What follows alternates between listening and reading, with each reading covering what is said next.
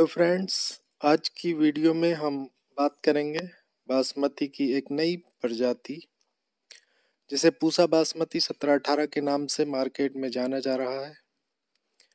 पूसा बासमती सत्रह अठारह धान की पहले ही हम आपको एक वीडियो में बता चुके हैं।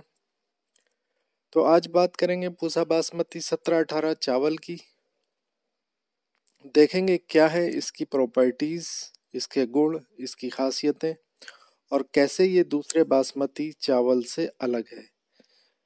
वीडियो को लास्ट तक देखें और अपने क्वेश्चंस कमेंट बॉक्स में ज़रूर लिखें। दोस्तों प्रॉपर्टीज़ की बात करें तो सत्रह अठारह जो चावल है, वो ग्यारह इक्कीस की फ़र्स्ट कॉपी कह सकते हैं उसको। ये बहुत सिमिलर है ग्यारह इक्कीस से।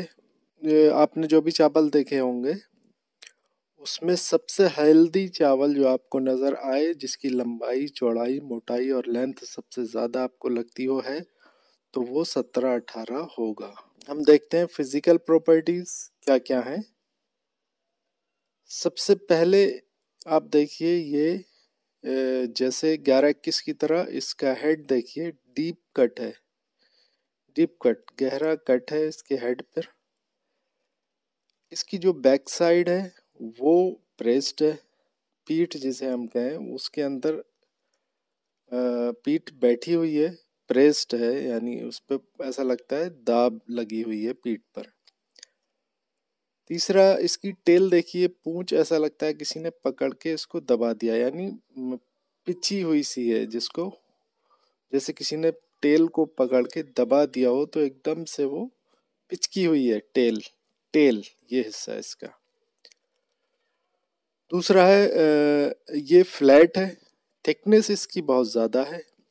इसकी लेंथ और ब्रेथ की जब बात करें तो इसकी लेंथ जो है, एवरेज लेंथ आठ पचास से eight point five M M से ऊपर ही बैठ रही है। और इसकी ब्रेथ जो है, फ्लैट ज़्यादा है, चपटा है तो दो एम एम से ज़्यादा इसकी एवरेज ब्रेथ जाती है। वाइटनेस की बात करें तो वाइटनेस इसका थर्टी सेवन प्लस है, वाइटनेस बहुत ज़्यादा है इसमें। ग्यारह इक्कीस और पंद्रह ज़ीरो नौ से ज़्यादा वाइटनेस है इसमें। सैंतीस से ऊपर ही इसकी वाइटनेस आती है। दूसरी चीज़ तो इसकी कुकिंग लेंथ जो है लेंथ आफ्टर कुकिंग जो है, वो ग्यारह इक्कीस की ही तरह है, बिल्कुल बाईस एम एम प्लस आती है कुकिंग लेंथ एलोंगेशन ज़बरदस्त है।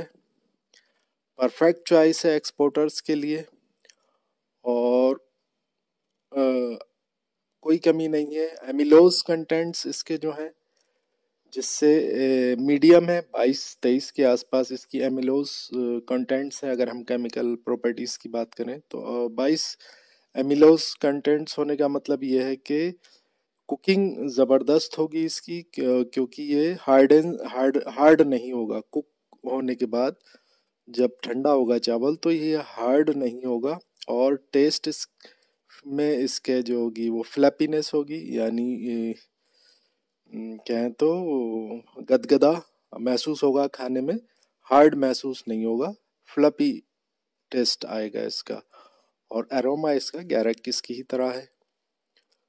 तो ये जानकारी, ये पहचान आप समझ लें अच्छी तरह से, सत्रह अठारह चावल के बारे में, कि ये हेल्दी है, सबसे हेल्दी है चावल।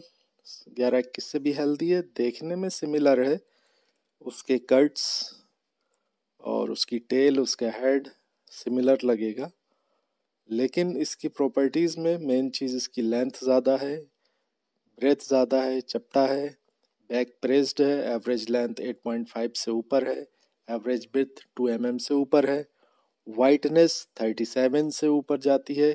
वाइटनेस का फ़र्क आपको नंगी आँखों से आँखों से आपको समझ नहीं आएगा। कैट में, कैट मशीन में जब इसकी वाइटनेस चेक की जाएगी तो क्लियर फ़र्क आ जाएगा कि सैंतीस के ऊपर ही जाएगी इसकी वाइटनेस कैट मशीन से चेक करेंगे तो।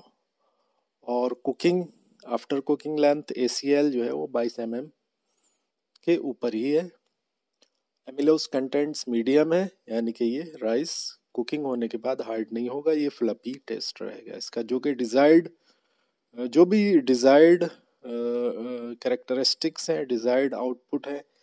एक अच्छे बासमती राइस के लिए जो ग्यारह किस जिसके लिए फ़ेमस है, वो सारे सत्रह अठारह के अंदर, वो सारी प्रॉपर्टीज़ एज इट इज़ मौजूद है। अरोमा भी है लेंथ ब्रेथ ज़्यादा है फ्लपीनेस है और वाइटनेस ज़्यादा है।